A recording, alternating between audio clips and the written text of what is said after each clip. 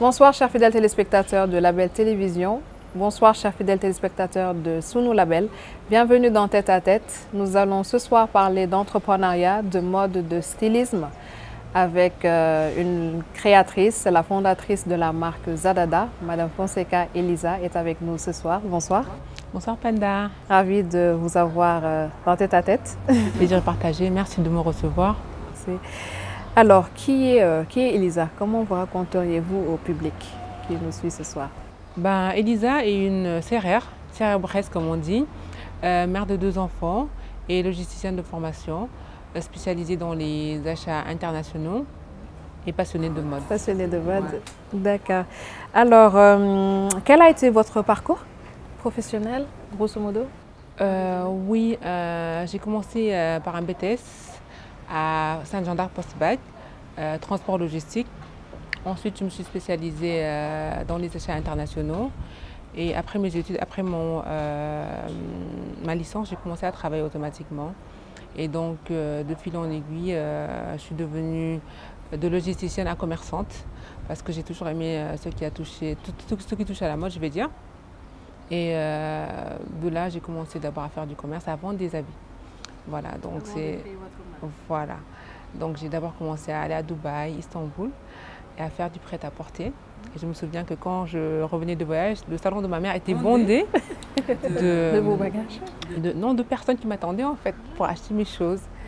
Et donc euh, je me suis dit, bon, tu dois avoir bon goût parce que voilà. Et euh, de fil en aiguille, ben, je me suis mise euh, à faire la couture. Voilà, donc je veux dire que j'ai un profil logisticienne, mais aussi euh, commerçante. Voilà, en même temps. Voilà. D'accord. Alors, l'univers de votre marque, Zadada, c'est quoi? Racontez-nous un peu l'histoire de comment vous avez débuté. Euh. En fait, euh, Zadada est né du fait que moi, après, après mon mariage, j'ai commencé à avoir des problèmes pour m'habiller parce que je, suis quelqu'un qui, qui, prenait rapidement du poids en 9 mois. Et donc, j'avais du mal à trouver des tenues correct pour aller au travail. Donc, euh, je me souviens qu'à ma première grossesse, j'ai pris quelque chose comme 10 kilos. Et donc, le retour au bureau, c'était vraiment euh, un cauchemar pour moi parce que je ne parvenais plus à, mettre les choses que j'aimais. Et donc, j'ai commencé à trouver des tailleurs qui me faisaient des choses parce que soit en prêt-à-porter, c'était trop serré ou ça ne correspondait pas forcément à ce que moi je recherchais. Donc, j'ai commencé à trouver des gens pour me faire des tenues qui me correspondaient. Et oui, euh, de fil en aiguille, Elisa, qui t'a fait ça ben, C'est moi qui le fais. Voilà, comme je suis audacieuse hein, euh, dans tout ce que je fais, ben c'est moi qui le fais. Ok, j'en veux bien. J'en veux bien. Voilà, et c'est comme ça que j'ai commencé à faire pour mon entourage proche, mes amis, mes collègues. Et c'est devenu un business. C'est devenu un business. voilà, c'est comme ça que Zala est né en fait. Et c'était en quelle année? Officiellement 2017, je veux dire, 2017. Mhm. D'accord. Alors pourquoi l'univers du prêt-à-porter euh, et aujourd'hui du Made in Sénégal, vu que vous vous êtes ensuite lancé euh, dans la couture? Oui, parce qu'en fait, aujourd'hui, euh, moi, en fait, j'ai fait une étude au Sénégal.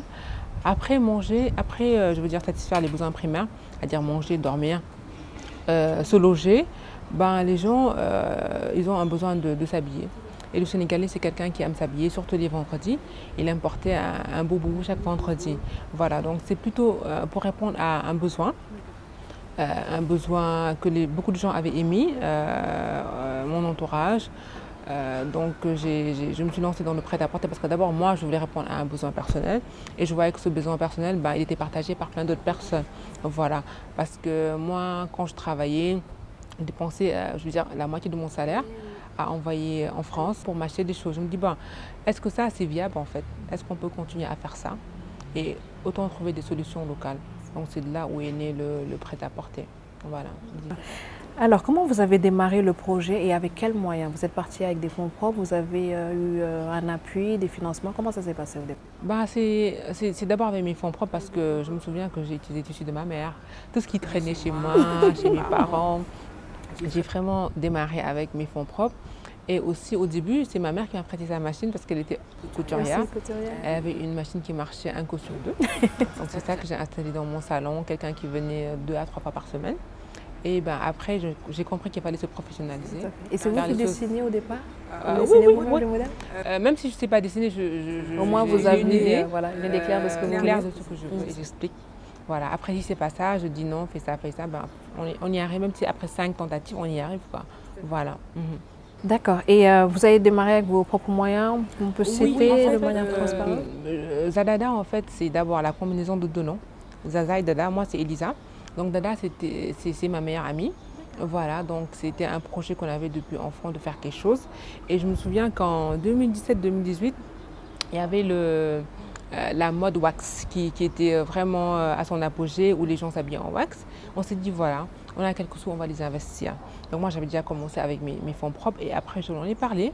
Elle me dit ok on fait quelque chose. On avait mis chacun, chacune un million pour démarrer. Mais euh, concrètement c'est 2 millions de francs, on n'en a rien fait on a acheté tout à n'importe quoi, des choses qui Parce que vous ne connaissez pas encore. Voilà, on ne sait pas où on va, qu'est-ce qu'on fait. On a acheté plein de choses, de garnitures, de choses qui sont encore dans, chez moi et qui m'énervent parce que je me dis, qu'est-ce que je vais faire avec ça? Et donc on a commencé avec ça. Et après, au fur et à mesure, on s'est, euh, je vais dire, euh, on, a trouvé notre chemin en fait. Voilà. Au début, on était plus dans les robes, les robes courtes, euh, les, tenues, je veux dire, en wax, mais occidental, style occidental. Voilà. Et au fur et à mesure, on s'est orienté vers le boubou parce que c'est ce qui se vendait le mieux. Et c'est ce qui correspondait le plus aux morphologies des Sénégalaises qui sont assez fortes, des fois qui n'aiment pas trop les habits près du corps. Voilà. C'est se porte partout facilement. Voilà, tout à fait. Et votre petite touche aussi, euh, si on a pu remarquer, c'est que vous les portez très souvent avec des baskets. Tout à fait. Parce qu'aujourd'hui, en fait, euh, le truc, c'est de rendre le boubou accessible. Parce que le boubou, à la base, c'est un habit traditionnel, mais euh, on doit rendre le boubou accessible, qu'on puisse le porter du lundi au vendredi, ou même au dimanche. Et donc pour ça, il faut le rendre moderne. Voilà, comment le rendre moderne, c'est de faire des boubous courts, des boubous avec des baskets, des boubous moins larges. Voilà, donc on a essayé de trouver plusieurs formules de boubous ben, pour que tout le monde puisse se retrouver euh, par rapport euh, au système boubou. Voilà. voilà.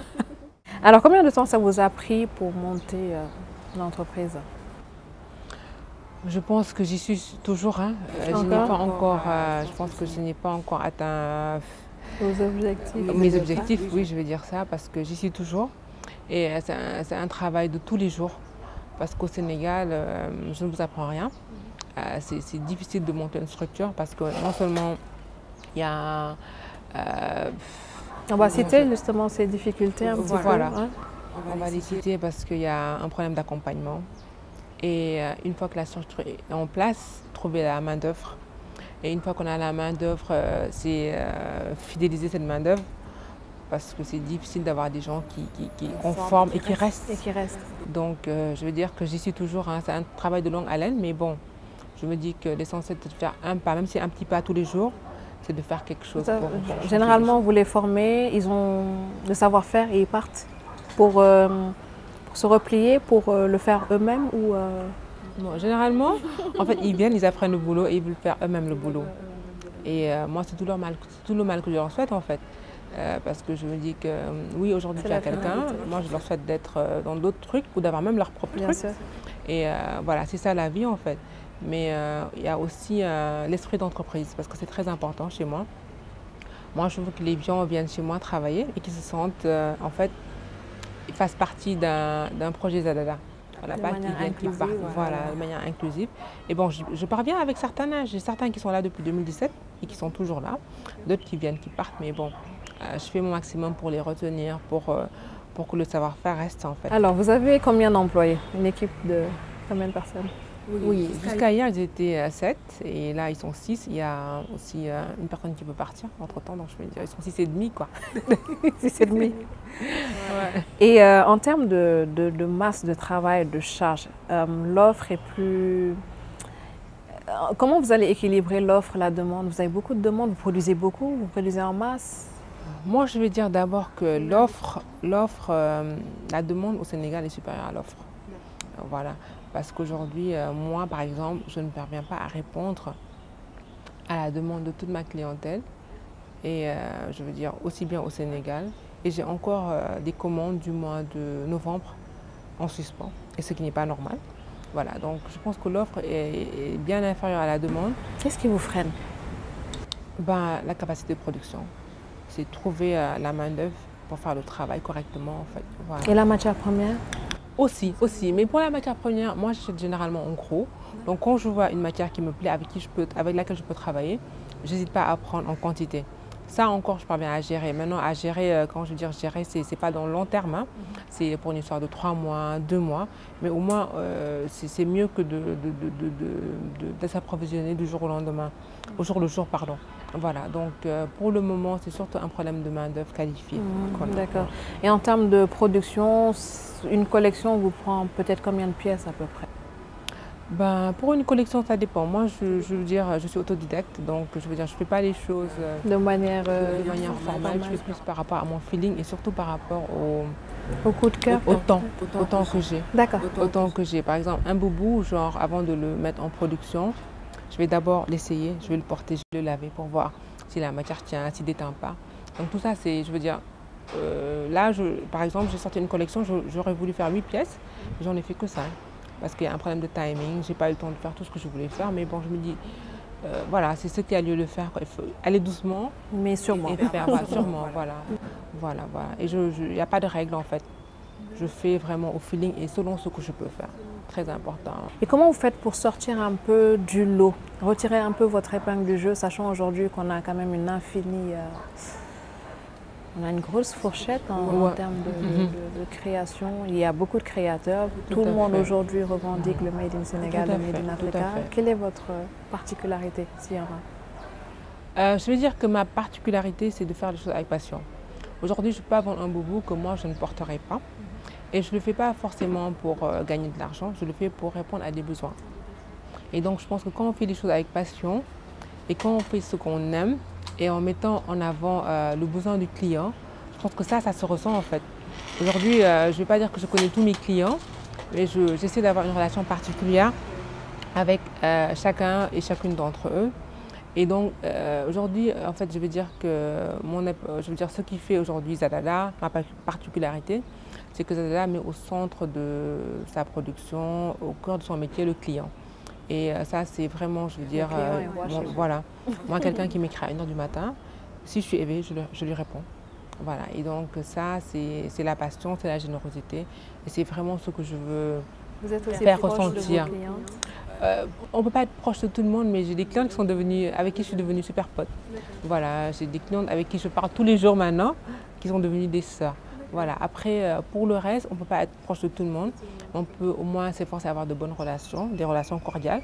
Parce que quelqu'un qui te donne 100 francs, 200 francs, ben, tu te dois de bien le traiter. Voilà, donc ma particularité aujourd'hui, c'est de mettre au centre de mon business le client. D'accord. Alors, à quoi ressemblent vos premiers modèles? Comme je disais, c'était des modèles. Quelle a été l'évolution, si on peut euh, C'était des modèles que je voyais sur Pinterest, que je reproduisais. Donc je ne savais pas ce que je faisais. J'aimais les robes en wax, je faisais des robes en wax parce que c'est ce qui d'abord euh, répondait à un besoin personnel. Et euh, voilà, donc je, faisais des choses. Aujourd'hui, le boubou. Vous avez aussi euh, créé le boubou du mois. C'est, Parlez-nous du. Voilà, l'histoire du boubou du mois, en fait, c'est qu'aujourd'hui, moi personnellement, quand je suis payée, avant de payer les factures d'eau, de courant, je vais d'abord dire voilà mon salaire je vais faire une bonne action envers ma propre personne parce que c'est moi qui ai travaillé du 1er au 31. Je me récompense. je me récompense. Et c'est moi s'offrir quelque chose. Et comme j'aimais les habits, j'aimais les habits, pardon, j'aime les habits, je veux dire, tu m'acheter un truc pour dire voilà Elisa, ton salaire du mois de janvier, tu t'as acheté cette pièce. Après tout le reste, tu peux dispatcher. Voilà, donc c'est de là où est née l'idée du boubou du mois, c'est de faire un boubou que les gens pourraient acheter chaque mois pour soit te faire plaisir, faire plaisir à d'autres personnes, et aussi, euh, je veux dire, essayer aussi d'innover parce que je ne fais pas beaucoup de collections. Je fais deux collections par année, une en fin d'année et une entre la période de Ramadan, Korité, Tabaski. Et donc, en fait, au bout du mois, c'est pour essayer de diversifier un peu mon offre. Chaque mois, proposer quelque chose de nouveau. Voilà. D'accord. Alors, en termes de marketing, vente, euh, comment ça se passe aussi?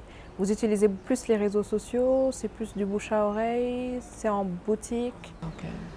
Je pense que c'est plus les réseaux sociaux parce que je pense que quand j'ai commencé il y a quelques années, personne ne me connaissait. C'est chez moi ma petite machine. Donc c'est plus les réseaux sociaux qui ont, contribué au développement de la marque. Euh, après, je me suis installée en boutique et euh, je veux dire, j'ai une clientèle qui ne va qu'en boutique. Et cette clientèle, en général, c'est des gens qui sont âgés. Quand j'ai âgé, c'est des dames qui ont en général, mes clientes qui vont en boutique, 45 ans et plus. Voilà. Euh, c'est des gens qui n'utilisent pas forcément les réseaux sociaux. Des gens pardon, qui savent que oui, il y a une boutique Zalala où je peux trouver des choses quand je veux. Voilà. Après, la vente sur les réseaux, euh, ça a été un, boom. Euh, parce que oui, des gens qui achètent en ligne, c'est des gens qui n'aiment pas se déplacer du tout. Des gens qui veulent voir des photos, livre-moi. Et voilà, donc je pense que oui, je fais plus de ventes sur les réseaux, en ligne qu'en boutique. Mais bon, je veux dire, après, L'idée, c'est de ramener les gens à, venir, à passer, à passer plus, de plus en plus en boutique. Sauf que le truc aujourd'hui, c'est que je ne vends pas que sur Dakar. C'est ce que j'allais vous dire. à l'international. Aujourd'hui, on est à l'international.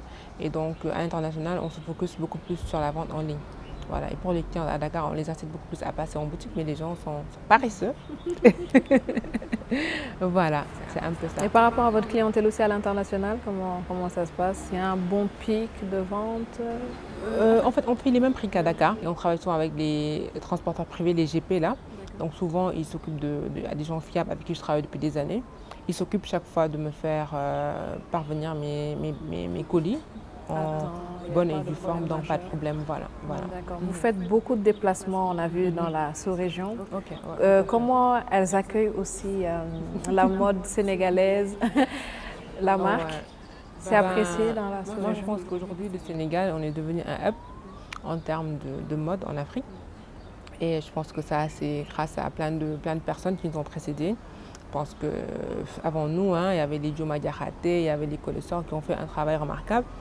Mais avec la nouvelle génération, avec les réseaux sociaux, je pense qu'aussi ça a contribué à, l'histoire de, la mode sénégalaise. Et donc oui, euh, moi, je sais pas, les gens, je sais pas. Euh, moi, quand je vais en Côte d'Ivoire, moi, je, dis, chez vous euh, En fait, je me dis, en fait, qu'est-ce qu'elles ont, qu'est-ce qu'elles ont compris que nous, au Sénégal, on n'a pas compris? Parce que je veux dire, aujourd'hui, après Dakar, je fais, le je fais un chiffre énorme sur la Côte d'Ivoire. Et ce n'est pas la, même approche en fait. Elles viennent, elles prennent. Et ça, c'est un problème de culture parce que ce sont des gens, je pense que depuis des années, ils ont appris à consommer local. Ils ont appris à, je veux dire, euh, l'ivoirien, le ghanéen, c'est quelqu'un qui mange local, qui s'habille local, qui euh, se meuble local. Voilà, c'est ancré dans leur culture. Au Sénégal, ça va encore, mais je pense qu'il y a certains blocages. Parce que, je veux dire, euh, c'est un peu plus dur de vendre. C'est plus avec le système Wahale. Voilà. voilà. Il y a le système Wahale, il y a le système calcul du prix de revient. Parce que tu leur dis non, ce boubou ça coûte 30 000. Ils te disent ok, je suis au marché, j'achète 1500 le tissu, dans le tailleur 5 000, j'achète 2 000 francs de garniture, ça me revient à 9 000. Pourquoi ils avaient vendu ton boubou à 30 000 Il y a des employés à payer. Voilà, voilà. ils ne comprennent pas toute cette chaîne qu'il y a derrière. Et que normalement, moi, je devrais pouvoir vivre de Zalada, normalement, mhm. payer mes impôts. Euh, je, vais simplement dire que... Hum, c'est possible C'est très possible. Mais moi, vu que j'ai un boulot à plein temps, je ne suis pas impliquée comme je devrais dans Zadada pour pouvoir vivre de l'activité euh, pleinement. Pleinement, tout à fait. D'accord. Mhm. C'est très possible parce vois des gens qui le font et, ça, c'est très possible. Mhm. En termes de... Alors déjà, racontez-nous une journée type euh, à la Elisa. Le boulot à plein temps, la marque. C'est pas évident du tout. Ben, elle se réveille à 5h30 toujours. Le réveil sonne. J'appuie encore 15 minutes. Donc c'est 6h moins quart, je prends ma douche. Euh, je suis en télétravail depuis un an et demi, Dieu merci. Mais en temps normal, ben, sorti moi à 6h. Je suis au boulot, 8h, euh, 17h30. Et donc, quelquefois, c'est aux heures de pause que je réponds aux clientes. Oui, euh, voilà. Et je finis à 17h30. Donc c'est à ce moment-là que je vais à l'atelier pour voir les coutures du jour, s'ils ont respecté le planning, euh, préparer les livraisons du lendemain et le programme du lendemain. Donc ça fait du coup euh, rentrer chez moi à 20h, 21h, voir mes enfants deux minutes parce qu'ils sont déjà couchés des fois et euh, répondre aux clients, préparer aussi ce qu'on va préparer dans la maison le lendemain, donner des instructions à la nounou, à la femme de ménage. Donc je me couche, à, ouais, je me couche à 1h du matin. Je me réveille les yeux cernés, je suis tout le temps fatiguée. Et bon, je me dis qu'un jour, j'essaierai de, trouver un meilleur équilibre. Et pour le moment, euh, je, me, je me démène comme je peux. Oui. Et je pense que je dois aimer ça parce que depuis lors, j'arrête pas. Vous êtes entrepreneur dans l'âme Ouais, je pense. La vie d'entrepreneur, c'est dur C'est dur. C'est très dur et on se sent beaucoup seul, du moins moi. Je me sens beaucoup seule. Euh, parce que hum, au Sénégal, quand on est entrepreneur, on peut être entrepreneur avec toute son équipe. Il y a des choses qu'ils ne comprennent pas. Ils ne comprennent pas que quand moi je donne ma parole au client, c'est que je donne ma parole. Ils ne comprennent pas que quand je dis au client demain, c'est demain. Ils disent non, un graoul. Et je comprends pas. Ils ne comprennent pas que je ne vais pas dire ce graoul-là, je ne vais pas le dire au, client parce qu'ils ne comprendraient pas. Qu'il y va de, de, mon, de, de ma crédibilité, qu'il y va de l'identité de ma marque, de plein de choses en fait. Donc quand on est entrepreneur au Sénégal, on est, tout seul dans, sa barque à vouloir faire des choses parfaites. Et euh, les gens qui nous accompagnent ne comprennent pas forcément. Voilà. Euh, on est seul parce que mes enfants, euh, maman, tu sors encore. Parce que tel fait son opening, que je dois juste aller faire soutenir une amie, une connaissance. Ils ne comprennent pas que le vendredi soir, ben, la maman, toute la semaine, était au travail.